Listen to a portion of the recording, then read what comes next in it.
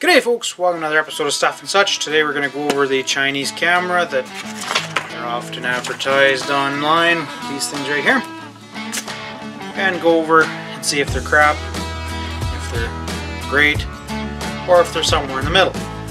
Some of you folks may have also been searching forums and going through uh, the internet, searching various sources about uh, trying to get an opinion, like I was.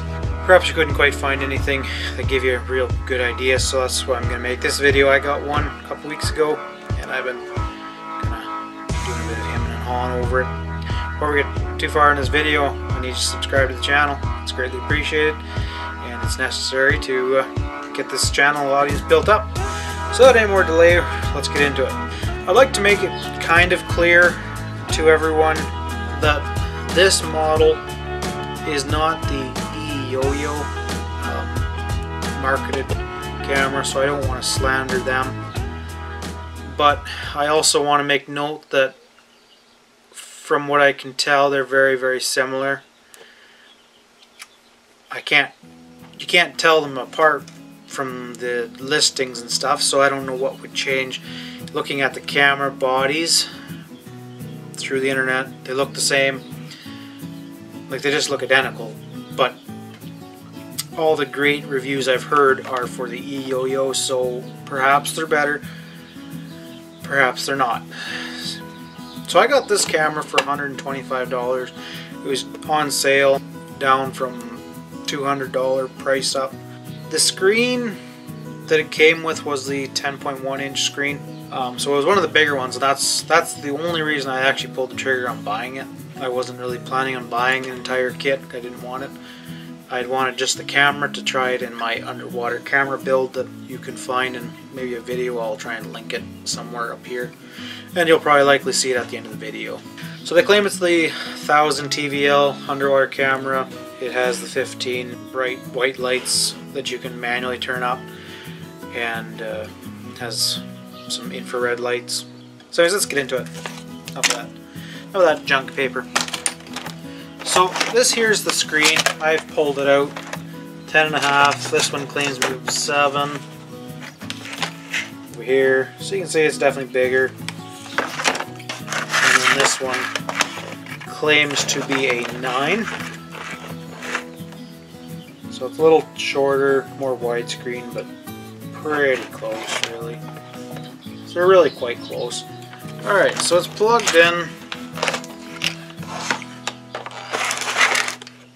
See the screen's kind of flickering. We'll flick on the camera.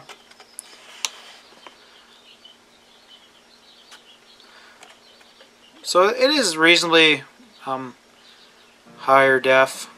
Uh, gives a pretty decent, pretty decent uh, resolution here. You'll notice it's very blue. You'll notice it's kind of flickering and flashing. And that's kind of where this this whole thing really is the weak point is actually the screen. The screen is an LED screen so it can't take cold very much. So what I'm going to do is I'm going to go and pop the screen out, throw it in the freezer for a couple minutes here while we're shooting the rest of this video. Pull it out and I'll try and show you just how bad it gets. I took it out ice fishing once in a warm ice hut and it was uh, it was flashing and, and making the horizontal lines were kind of mooning, crescenting, crest, whatever the heck it's called. They weren't even running straight across, they were starting to bow and it was just kind of a real nightmare. Couldn't even look at it. And it wasn't very cold, I had in the heated ice shack, it was about plus 3 Celsius. I was sitting there in my, my shirt, it wasn't cold at all. So I'm going to take this camera out, or take the screen out, and then we'll go over a few little weak spots to look out for, and then we'll grab the screen back and uh, show you what I mean. Okay, so the next thing that I kind of don't really like is it comes with this 30 meter wire and you can see it's like that's about 100 feet of wire in the palm of my hand. So it gives you an idea just how thin this line is. I measured it with a micrometer in a previous video and it's only 75 thou thick. So what that means is that there's very thin insulators on all the wires both the power and the video signal because that's what it needs. It needs the two to run through it. So to have an insulator around all of them, have insulator around the video and an insulator around the uh, positive and negative power, it's very very thin. So what I'm saying is that if ever you are fishing with this thing and and uh, fish gets caught in it, a small fish, it's your line's just going to zip through that and cut into it and it's going to be destroyed. And you're going to be out of camera. Another annoying thing is I don't know how you're supposed to hang this thing. I don't know if that's what these things are for. But it's really annoying. It wouldn't have taken very much more insight to actually design something that was more user friendly. So that's kind of silly. I don't I don't like the blueness of this of the uh, the picture. I guess, I guess the reason why I'm harping so hard on this this camera is just because of how fa falsely advertised it is. It's advertised as having extremely clear, beautiful picture. Like they have these really fake pictures on there that you and I both know aren't real. But to have such a massive gap that there needs to be some responsibility or uh, yeah responsibility. I think that's the word. You need to be responsible for what you what you sell and advertise. So this here another screen I got. That's the picture quality of it it's a little as you can see it was a little more stable. Wasn't bouncing around a whole pile. I got this other 7 inch screen. That's that's a little 7 so that poster uh, uh, banner behind me that's about 8 feet behind me. So you can kind of get an idea just how wide of an angle it has I'm gonna go grab the other original camera it came with it just so you can get an idea of what I was what I'm trying to talk about and then I'll do a broad summarizing um, statement. So there's the screen. It's not too bad. I don't know if it's not quite cold enough. Or if there might be another issue that's going on here that I don't haven't figured out. As you see it's kind of flashing and stuff, but it's actually not as bad as it was on the lake.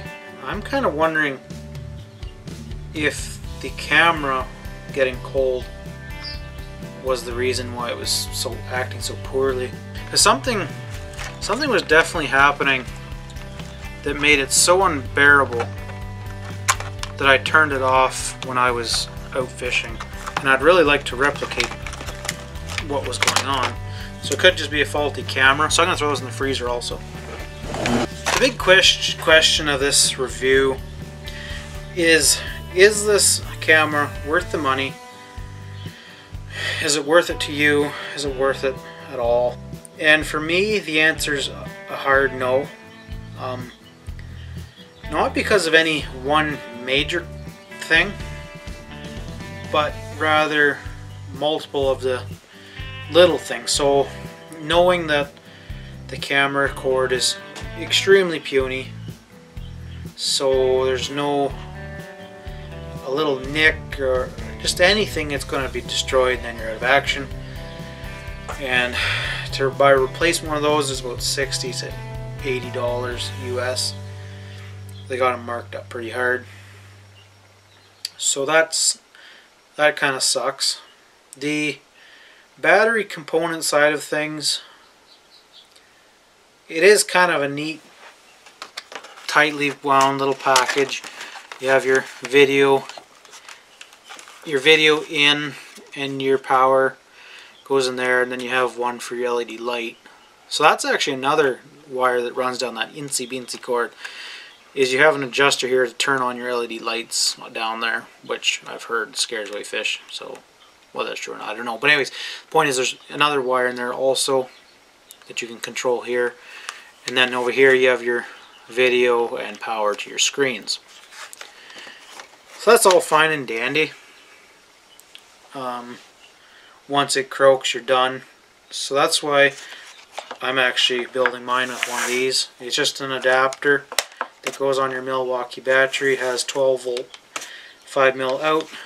Has USB there, which I run through a DC little 5 volt to 12 volt converter that run my screen. So, so that component, the battery that comes with it, isn't anything special for me. The screen, the screen would have been nice if it was LCD. I believe the LCD handles cold a bit better. I'm kind of, I was kind of surprised when I pulled it out of the freezer. It wasn't in there very long, maybe five minutes. But it, it feels cold to the touch, cool to the touch rather. That it wasn't acting up more. So there's something funny going on, and I I know that something. I'll I shot another partial video of a review. I'll put some footage of that in here. The problem was I had chicks that were being retardedly loud. I'm having a hard time kind of summarizing whether or not to tell someone to try it out or not. It does work. And while it's not the 1000 TVL that they claim it is, it's still not too bad except for the blue factor that blue hue it just drives me bonkers. If I knew what was going on that was causing the issue of the uh, the swooping lines across the screen that'd make a bit of a factor of whether I could recommend it but honestly the uh, the thing that thing that scares me the most is actually the wire to the camera. If it wasn't so puny, I'd have more faith in it. And because it's such a, a expensive part of the camera, of the of the unit to purchase, it makes me really quite nervous. So, like you wouldn't want to go fishing trout or even pike or anything in any length, any depth of water because, or even a whitefish or anything actually, because you get a piece of mono wrapped around that and it goes for a little quick run wrapped around it, would I think it would just zip that camera right off.